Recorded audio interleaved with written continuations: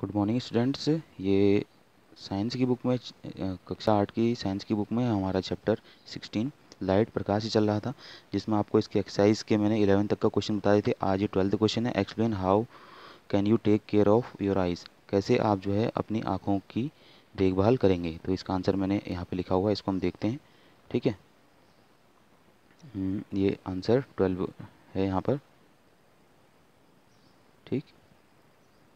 Twelve का answer है ये यहाँ पे से आप देख सकते हैं इसको। केयर ऑफ़ आइज़ तो some tips are as follows कुछ जो हैं इसके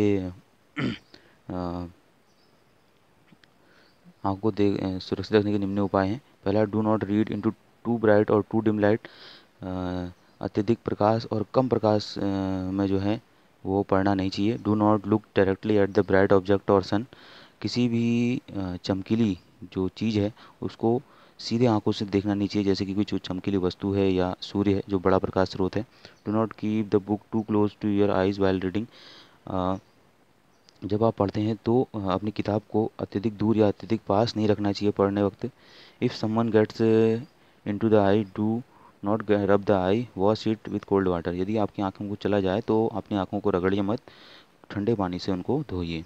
In case of any problem like itching और बर्निंग सेंसेशन कंसल्ट डॉक्टर यदि आपकी आँख में खुजली या जलने जैसी कुछ स्थिति उत्पन्न होती है या स्थिति आती है तो डॉक्टर से जो है सलाह लीजिए और उसको दिखाइए। ठीक है तो इस तरह से हम केयर कर सकते हैं। फिर थर्टीन क्वेश्चन है।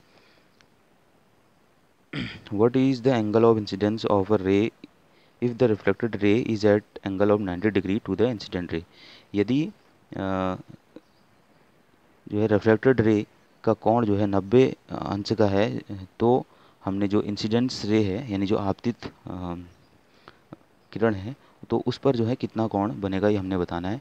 तो we know that angle of incidence ray is equal to the angle of reflect ray हम जानते हैं कि जो आपतित कोण होता है वह आपतित किरण आपतित किरण का जो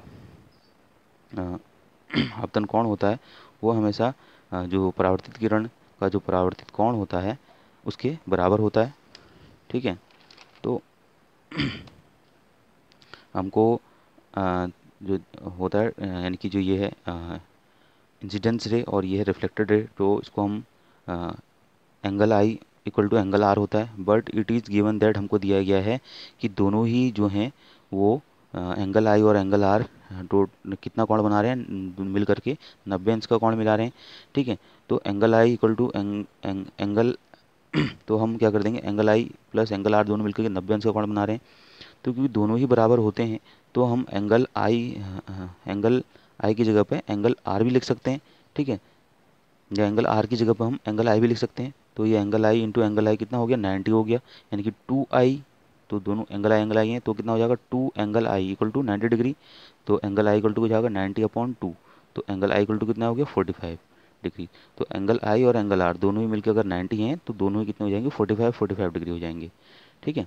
फिर नेक्स्ट क्वेश्चन है how many images of a candle will be formed if it is placed between two parallel plane mirror separated by forty centimetre यदि दो समांतर यदि दो समतल दर्पणों को जो है एक दूसरे के सामने 40 मीटर की दूरी पर रख दिया जाए और उन दोनों के बीच में जो है मोमबत्ती जला दी जाए तो उन दोनों ही दर्पणों पे, समतल दर्पणों पे कितने जो हैं वो मोमबत्ती की जो प्रतिबिंब हैं वो कितने प्रतिबिंब बनेंगे? तो when the mirrors are parallel to each other जब जो है समतल दर्पणों को एक दूसरे के समांतर रखा जाता है then we get infinite numbers of images तो उसके पश्चात, उसमें, उसके पश्चात जो है हमें मिरर्स पे जो है अनगिनत जो है वो इमेजेस यानी प्रतिबिंब कैंडल के वो या मोमबत्ती के प्राप्त होते हैं। ठीक है? फिर नेक्स्ट क्वेश्चन है two mirrors at meet at right angles a ray of light is incident on one at an angle of thirty degree as shown in figure sixteen point nineteen यानी कि दो दर्पणों में जो है जो अधिक कोण पे, दो दर्पणों को मिलाने पर जो है एक अधिक कोण बनता है और तो एक प्रकाश की किरण जो किसी कोण पर जो है वो उस दर्पण पे आपतित होती है। जैसा कि आपको चित्र में दिखाया गया है, ये दो दर्पण है। इस तरह से यहाँ पे ये जो है किरण तीस एंगल की डिग्री में जो है आपतित हो रही है। ठीक है? Draw the reflected ray from the second mirror तो दूसरे दर्पण से उस किरण, उस परावर्तित किरण का जो है चित्र हमने बनाना है। ठीक है? इसमें खाली हमने आरेख बनाना है। ठीक है?